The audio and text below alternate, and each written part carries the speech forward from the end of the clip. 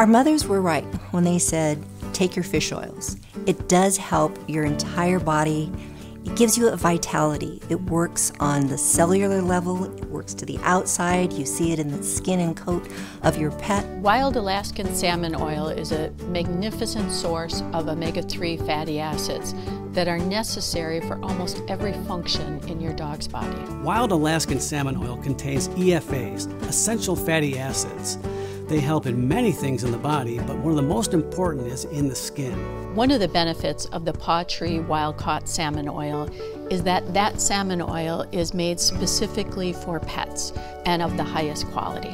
Her coat has just been amazing. It just, it's so soft. When I put the wild Alaskan salmon oil on Molly's food, I was amazed at how she loved it and would eat it right up.